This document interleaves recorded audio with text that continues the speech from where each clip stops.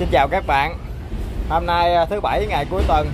À, Đầu tiên mình cũng xin à, chúc à, à, quý vị và các bạn à, một cuối tuần à, an lành hạnh phúc ha.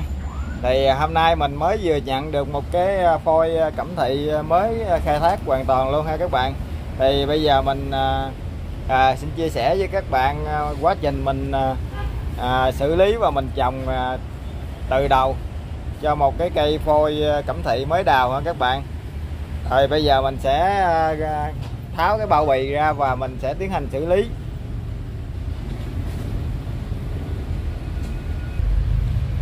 Rồi các bạn, mới vừa tháo ra một đống bao bì các bạn. Rất là nhiều ha. Rồi ở đây là một cái ờ, cái cốt cẩm thị cũng khá là nặng, chắc cũng tầm 6 70 kg các bạn. Rồi bây giờ mình sẽ cắt mấy cái ờ, cây chim ra ha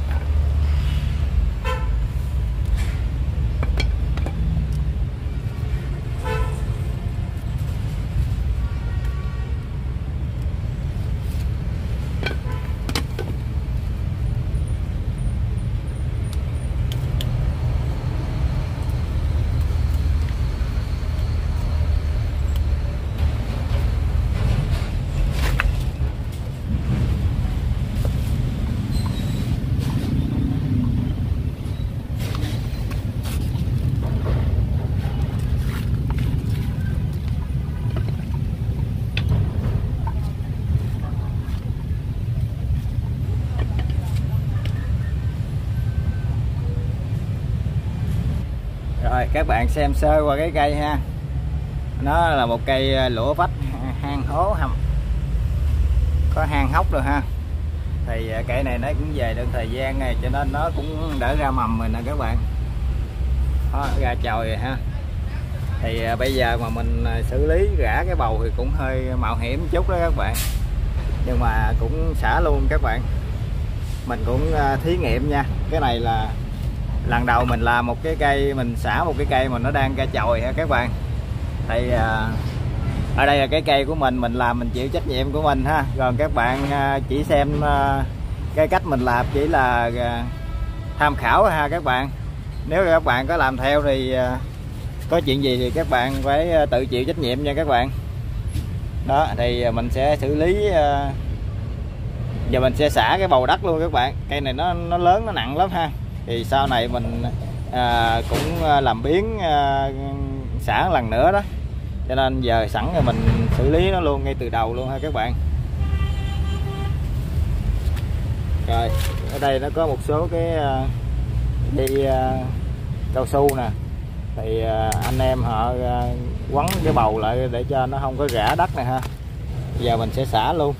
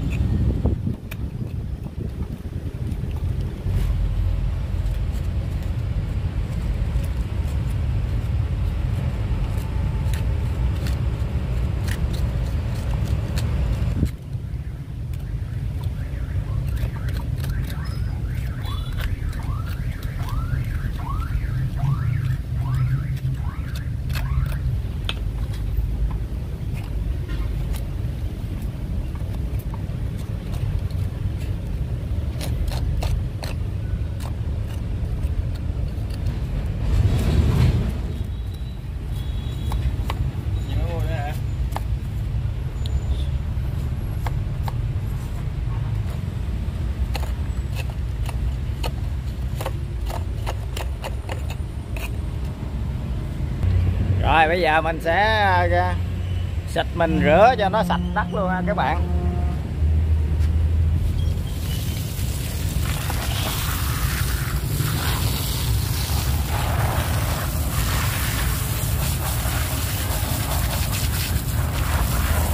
Cho nó sạch ba cái bùn nè, ba cái bùn nhớt ở trên rừng á.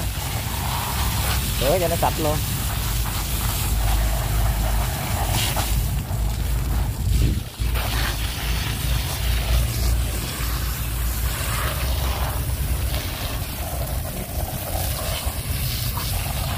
Rửa xong rồi mình sẽ coi cái nào nó dập rồi mình sẽ ờ, cắt tỉa nó lại ha.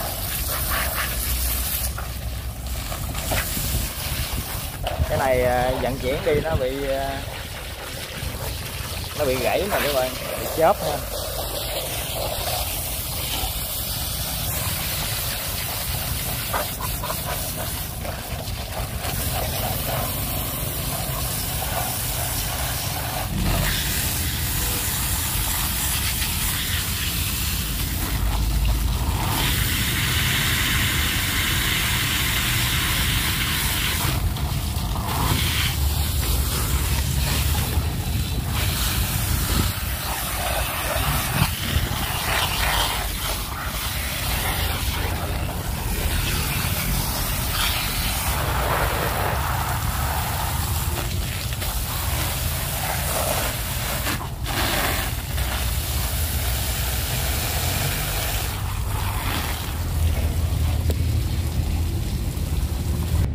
rồi bây giờ mình đã rửa sạch sẽ rồi các bạn. Bây giờ cái chỗ nào hư hư mình bấm bỏ đi ha. Cái này dài quá ngắn lại Dập.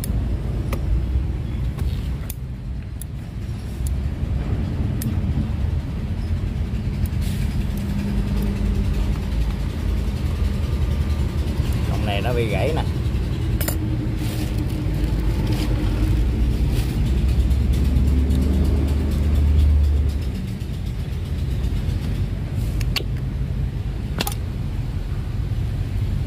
bị dập rồi ha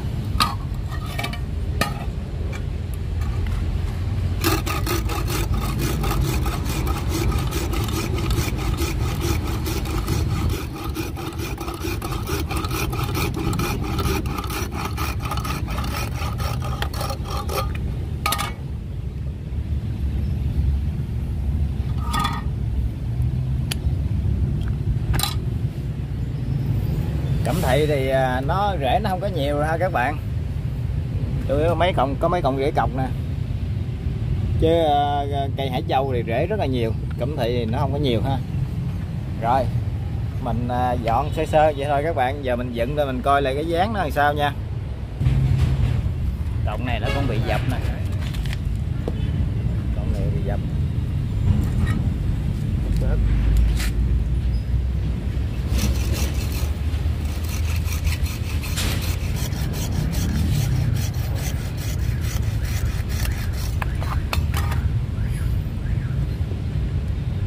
có cái cọng này nó mọc ngược lên nè các bạn, mà nó hơi dài quá ha, mình cũng rút lại luôn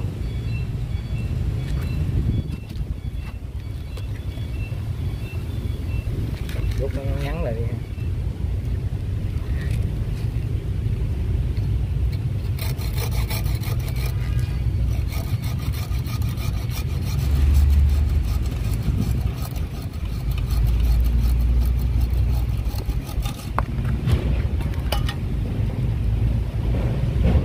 rồi nhìn thấy toàn cảnh đó các bạn.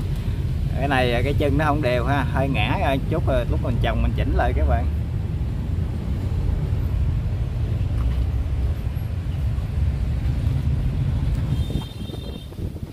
Bây giờ các bạn nó có phát sinh một cái à, tình huống nha các bạn. Nếu như mình để nguyên cái à, đế như thế này mình nuôi các bạn, thì à, nó sẽ, cái mặt đế này nè nó chỉ có ba cọng này ha. Với uh, ờ, ờ, chăm trước em đường cây này. Thì uh, cái đế nó sẽ bị lép thôi các bạn. Cho nên bây giờ mình cố gắng mình uh, rút ngắn cái này lên chút để cho mình lấy cái mặt đế này nè. Lấy lấy cái mặt đế uh, ở trên chút ha để cho cái rễ nó nhiều ha các bạn. Giờ mình sẽ cắt ngắn lại ha. Cắt mấy cái này cũng hơi à, phê ha, các bạn. Không không có cái cưa máy á, các bạn mình cưa bằng cưa tay nó hơi cực ha.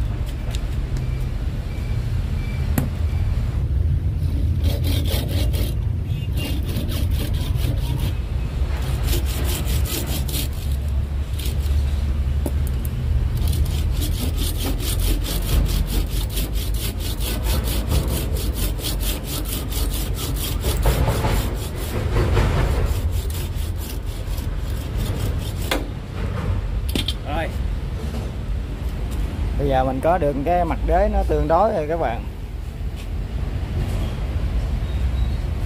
Nếu mà mình không có xả cái bầu ra bây giờ các bạn, sau này mà mình muốn chắc về lúc mà cây nó sống khỏe rất là cực các bạn, nó dướng rễ ha.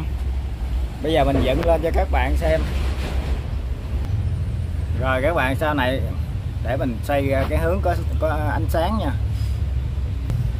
Đó, rồi sau này mình à, khi mà mình lên chậu là các bạn, mình trồng á nó đưa hết cái cái cái bộ đế nó mạnh hơn rồi, đúng không?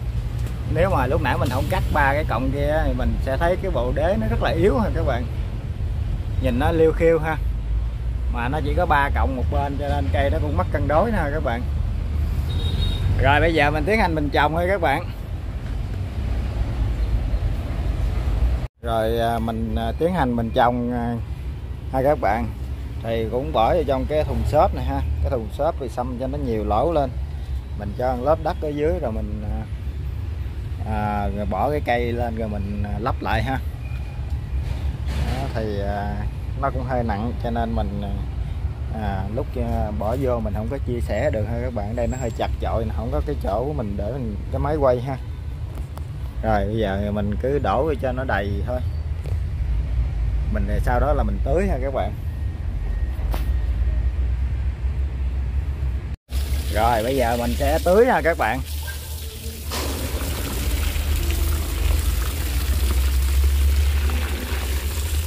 Tưới đẫm đi cho nó lọt đất lọt ờ, uh, đất dòng xuống.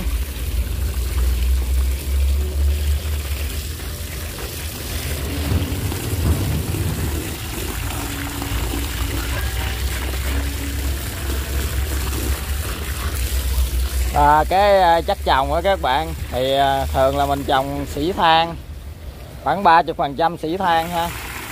Đây sỉ than nè 30 phần trăm sỉ than rồi à, cát to. Khoảng ba à, bốn chục phần trăm cát to. Thì còn lại thì ít mụn dừa ít uh, cho cháu ha các bạn. Mụn dừa ít thôi mụn dừa chừng 10 phần trăm thôi.